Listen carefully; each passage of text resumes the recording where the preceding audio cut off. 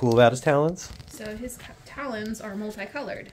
Oh, wow. Yeah. See there. Uh, it used to be believed that that coloration indicated a bird was older.